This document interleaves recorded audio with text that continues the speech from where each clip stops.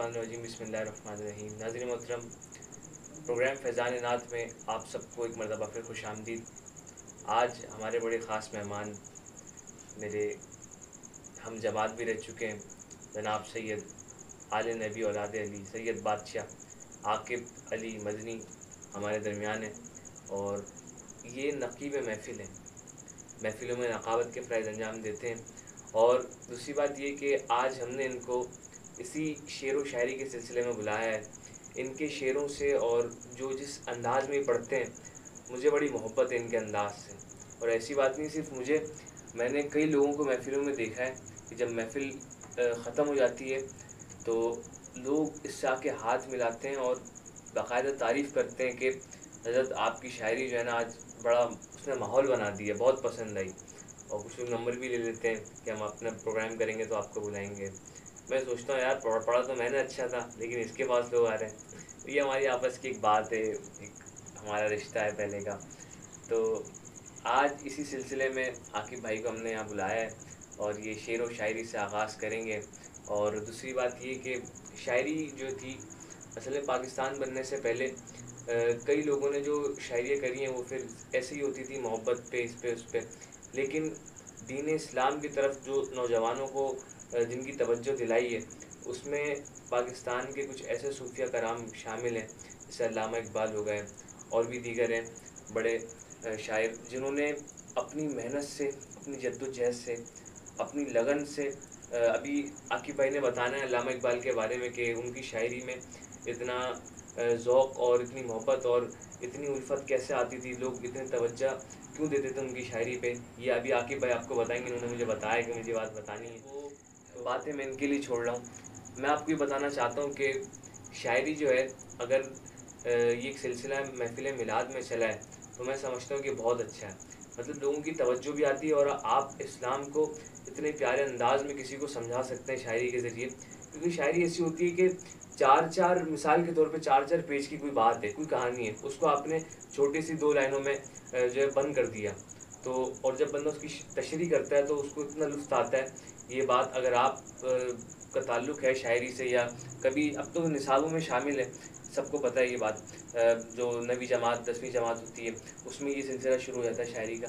तो ये बहुत अच्छी बात है शायरी, और उससे अच्छी बात ये कि शायरी किसी को इस्लाम समझाने, दीन की बातें समझाने में हो तो फिर तो भाई क्या कहने तो आकिब भाई आज हमारे साथ हैं, ये शायरी से हमें बताएँगे कि किस तरीके से इकबाल ने शायरी के ज़रिए नौजवानों में और लोगों में इस्लाम फैलाया, जो लोग इस्लाम से दूर थे और ऐसे कल्चर्स को अपनाया हुआ था जो नहीं, हमारे शोभा नहीं है, हमें नहीं अपनाना चाहिए।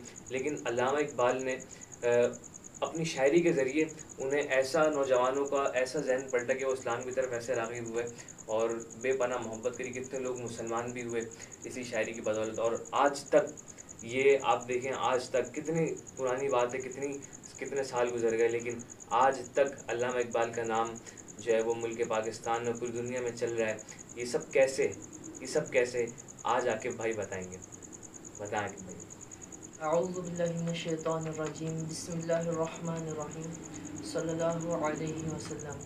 जी ज़ीम आप सही कह रहे हैं जो नौजवान इस्लाम, जो कि इस्लामी कल्चर को छोड़कर गैर मुस्लिमों के कल्चर को अपनाए हुए थे। सूफिया कराम की मेहनत, जस्तजू और उनकी शायरी के ज़रिए नौजवान इस्लाम, ना सिर्फ़ इस्लामी शायरी से आरास्ता हुए, बल्कि जोक दरजोक इस्लाम की तालीमत पर अमल भी करने लगे और उसकी सीरत व किरदार को भी अपनाने लगे। अल्लामा डॉक्टर मोहम्मद इकबाल इन शख्सियत में से एक हैं। गालिब चूँकि अल्लामा इकबाल के बाद के शायर हैं। बट ऐसे ऐसे लेकिन अल्लामा इकबाल ने जब शायरी स्टार्ट करी तो उनकी शायरी में ऐसा सोच और ऐसी मिठास पैदा हो गई कि जिनका जवाब नहीं। गालिब अल्लामा इकबाल के पास आते हैं और पूछते हैं कि इकबाल आखिर अपनी शायरी में ऐसा क्या कर दिया आपने कि इतनी मिठास और इतना सोच पैदा हो पैदा हो गया कि नौजवान इस्लाम आपकी शायरी सुनकर जोक तरजोर इस्लाम की तरफ़ रागब हो रहे हैं। तो अल्लामा इकबाल ने जहीन तारीख़ी जवाब दिया। कहते हैं कि मैंने कमो पेश एक करोड़ मरतबा हुजूर सलाम की बारगाह में दरूद का नजराना पेश किया है। उसके बाद शायरी स्टार्ट करी है। तो फिर कहना पड़ेगा ना कि मैं नहीं कहता ऐसा करो वैसा करो। उनकी सीरत आईना है आईना देखा करो। और बात तो तब है कि नमाज़ पढ़ के कुरान पढ़ के दुरूद पढ़ के सलाम पढ़ के ऐसा रबता कायम करो। मदीने से वो तुम्हें देखा करें तुम उन्हें देखा करो। वो तुम्हें देखा करें तुम उन्हें देखा करो। कि अंजुम की जो न शमसो कमर का जहूर था।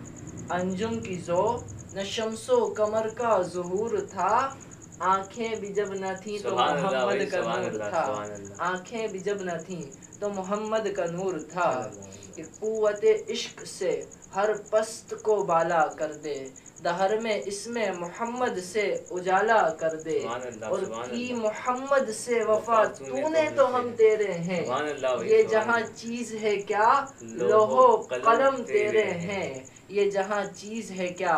लोहो कलम तेरे हैं। और आखिर में तो जईम भाई अल्लामा इकबाल ने कमाल ही कर दिया। कहते हैं कि जो सूफिया कराम जिन्होंने हुजूर सलाम की बारगाह में उनकी सीरत किरदार के बारे में लिखना शुरू किया। तो लिख लिख कर लिख लिख कर उनके कलम की स्याही ख़त्म हो गई हती कि उनके कलम टूट गए और ये नौबत आ गई कि उनकी ज़िंदगियाँ ख़त्म हो गई। मगर हुजूर सलाम की शान और शौकत इतनी आला और अरफा है कि एक चैप्टर भी कंप्लीट नहीं कर पाए। लोगों की जिंदगियाँ ख़त्म हो गई। तो फिर अल्लामा इकबाल ने ऐसी नहीं कह दिया कि जिंदगियाँ ख़त्म हुई और कलम और कलम टूट गए। जिंदगियाँ ख़त्म हुई और कलम टूट गए पर तेरे औसाफ का एक बाब भी पूरा ना हुआ। देखिए एक बात बोलना चाहता हूँ यहाँ पे कि आकिब भाई जो इनके वालिद नहीं है। तकरीबन कोई हम मैंने अभी आपको बताया कि हम जमात थे। जब हम नवी जमात में थे तो इनके वालिद साहब का इंतकाल हो गया। तो हुआ कुछ यूँ कि हम तो उस वक्त पढ़ रहे थे कि हमारे वालिद अलहमद ज़िंदा है। लेकिन घर के हालात ऐसे हुए कि इसको बाहर निकलना पड़ा। और ज़ाहिर फिर पेट तो सबके साथ लगा हुआ है, फिर जॉब, बहनों की शादी, फिर ऐसा सिलसिला हुआ कि हम तो सिर्फ़ सिंगल मेहनत कर रहे थे कि सिर्फ़ पढ़ना था बस। लेकिन आकिब भाई ने जॉब भी करी और साथ साथ अपनी पढ़ाई को भी कंटिन्यू रखा। ऐसे नहीं किया कि पढ़ाई छोड़ दी और सिर्फ़ जॉब पे लग गए या फिर ऐसा नहीं किया कि किसी गलत सोबत में, गलत संगत में पड़ गए। लेकिन इन्होंने मेहनत इतनी की और आज आप देखें कि जो शायरी कर रहे थे, और मैंने आपको बताया शुरू में कि किस तरह महफ़िलों में जो है वो समा बांधते हैं और लोग इनके पास आते हैं कि, हजूर, आपने क्या शायरी करी और क्या नकाबत के फ़ायदे अंजाम दिए? बहुत अच्छा लगा, बहुत मज़ा आया। मेरी दुआ है कि अल्लाह पाक इसको और मज़ीद तरक्याँ दे। मेरा भाई ये, मेरा भाई जैसा है।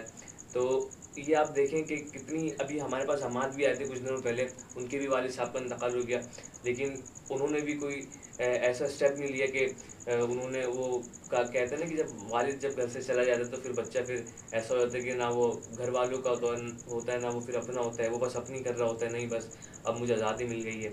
ऐसा आ, मैंने देखा है कि जो हमाद आए यहाँ पे आकिब भाई आए इनमें किसी में भी ऐसा नहीं है और ये सब ये फैस कहाँ से मिल रहा है?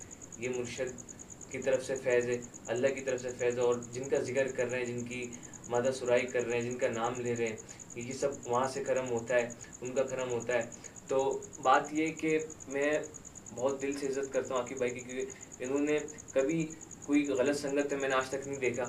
पाँच वक्त की नमाज़ भी पढ़ते हैं और बहुत मतलब एक अच्छा इन्होंने अपने आप को एक तरीके से लेके चलना है, किसी गलत काम में नहीं है और मेरी ये दुआ है दिल से। कि अल्लाह पाक इसको बहुत तरक्की दे। जब मैंने आज इसको यहाँ बुलाया है कि आप हमारे लिए प्रमोशन होंगे, आप हमारे लिए जो है वो एक एजाज़ का बायस इज़्ज़त के काबिल हैं आप, कि आप हमारे प्रोग्राम में आए, आप जटा टेलीविज़न के स्क्रीन पर जलवा कर हुए तो आखिर में मैं कहना चाहूँगा आपसे कि कोई ऐसी बात जो हमारे लिए भी नसीहत हो, देखने वालों के लिए भी नसीहत हो आप दायरे सैयद हैं आपकी बात का एक असर है। मैंने बताया ना कि हम भी पढ़ते हैं लेकिन लोग किसके पास आते हैं कि हज़रत आपने पढ़ा है? ये तासीर है सही ज़्यादा है इस वजह से।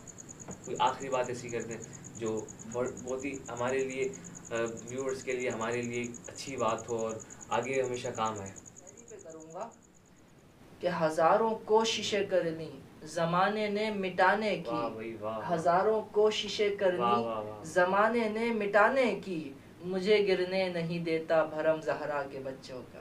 सुबह अल्लाह भाई सुबह अल्लाह सुबह अल्लाह फिर प्रोग्राम का वक्त इसी के साथ अख्ताम को पहुँचता है और आकिब भाई का बड़ा शुक्रिया अदा करूँगा कि उन्होंने अपने कीमती वक्त में से हमें वक्त दिया और बड़ी इल्मी गुफ्तु करी। हमें, हमारे भी में इजाफ़ा हुआ यकीन आपके इल्म में भी इजाफ़ा हुआ होगा। तो यही बातें नाजिर मोहतरम के जो हमें याद रखनी चाहिए। हम अपनी औकात का भी नहीं भूलनी चाहिए। हम सबको इसलाह की बहुत ज़रूरत है। दौरान प्रोग्राम उससे और आपके भाई से किसी भी गुफ्तु में, किसी भी किस्म की कोई गलती हुई हो, जिससे आपके लिए लाजारी हुई हो, उसके लिए माजरत हुए अपना बहुत सारा ख्याल रखिएगा। तब तक हमें दीजिए इजाज़त। मिलते हैं फिर अगले प्रोग्राम में, अगले नए मेहमान के साथ, किसी एक नए शायर, किसी एक नए नाथवा के साथ। तब तक के लिए अपना बहुत सारा ख्याल रखिएगा। असल वरहमल वर्का